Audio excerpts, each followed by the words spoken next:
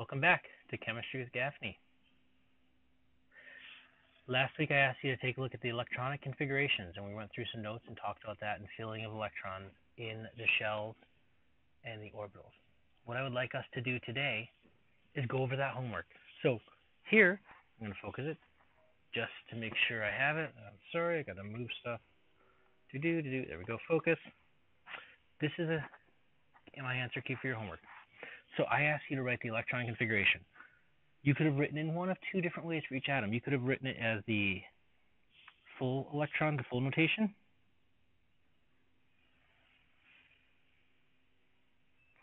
Or the abbreviated form, which is known as the core notation.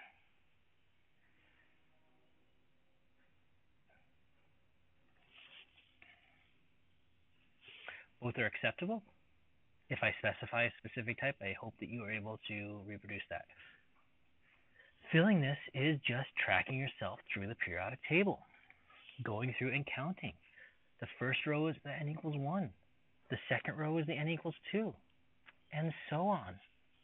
So, when I ask level 1, do do do, the n equals 1 shell has an s orbital. n equals 2 has an S and a P. N equals 3 has SPDF. SPD. 4 has. Daddy, Yes, sweetie. I'm sorry. Why'd you move? That's okay. Don't worry. I was bending it. And it bent too much? Yeah. That's okay, sweetie. Thanks for telling me. Can I fix it? Uh, I don't know if I can really fix it. I can try to glue it back together, but it's not something that. It's not a big deal.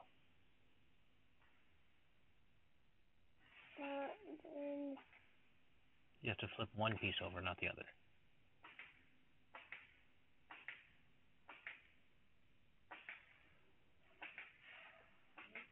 Okay. If you leave it, I can try to tape it back together or glue it back together, okay? Just leave it there. Okay. Can I help you? Mm, I don't know if you can help me. I'm just doing some chemistry. And do you like the picture I draw? I love the picture you drew for me. Right, Can I go back to my teaching? And I borrowed it. The red one, yes. So as you go through, you're just counting and adding and get in the habit. I'm going to continue to ask some of these and hope you remember them. So I might even give you a little Google quiz. So fluorine, 1s2, it's in the second row. It's near the end. It's actually in the halogen section. We'll talk about halogens, alkali, alkaline earth metals, transition metals, lanthanides, actinides, those types of things. Mention them today briefly page 292 in chapter 6. 1s2, 2s2, 2p5.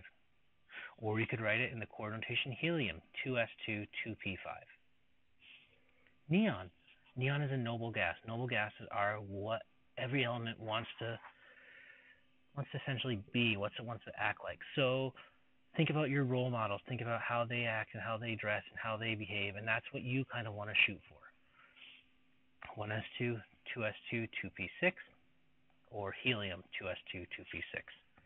Sodium, first column, very reactive elements here. It is an alkali metal.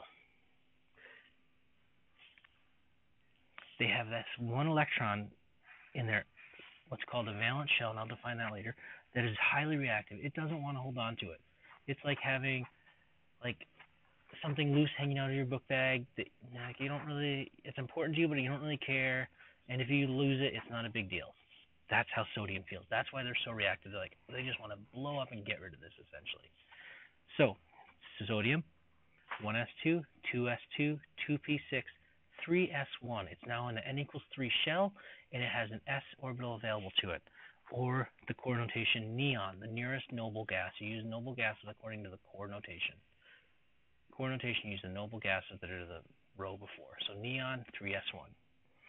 Silicon over in 3p, and going through, you get 3p2, 3s2, 3p2, neon. argon is going to be similar. It's going to be neon in the core notation 3s2, 3p6. It's another noble gas. It's going to have 6p electrons in the subshell. Sulfur, we're in row, row 4. Sorry, this I got these confused. This is row 5 still. Row 3, question 5. Sulfur, 1s2, 2s2, 2p6, 3s2, 3p4. Number 7, titanium. Titanium, it is one of the transition metals. It's the second one in that row. It's in the fourth row. So we're going to be working with 4s. And if you remember your electron configuration table, I can't remember what page that's on right now, that is going to be a th 4s and a 3d orbital. So let's take a look at it. Titanium. We all have, it has the 1s2, 2s2, 2p6, 3s2, 3p6. They're all in there. They're all contracted in the middle. The ones that are outside are the 4s2 and the 3d2. These are the outer ones, the more reactive ones, but we'll talk about exact reactivity and how they play a role. There's my neighborhood raven nesting somewhere around me, and that would be argon 4s2 3d2. Zn. All the way at the end of the 3d. So if you count that transition metal section, it's going to show you it has 10 spaces for electrons. So you're going to have a 1s2, 2s2, 2p6, 3s2, 3p6, 4s2, and 3d10. Between the, the titanium and the zinc, there are a few exceptions to how they're filled, and I will mention them in the notes later. And that would be argon 4s2, 3d10.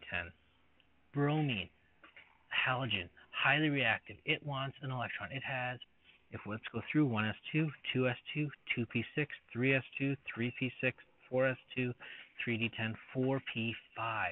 It's mm-hmm. very close to getting a noble gas type configuration. And if it adds one electron, if it adds one electron, it'll have 4p6, and it would be seeming like to itself it's a noble gas. It's highly reactive as well. Alkali and halogens are highly reactive. Kr, krypton, halogen. So that means you're going to fill every shell that it has available with an electron. 1s2, 2s2, 2p6, 3s2, 3p6, 4s2, 4, 3d10, 4p6. And its core notation would be argon, 4s2, 3d10, 4p6. So that's reviewing the homework. Take a minute, look at it. I will scan this in. I will post it. I'm going to stop this video, and I'm going to continue with the notes.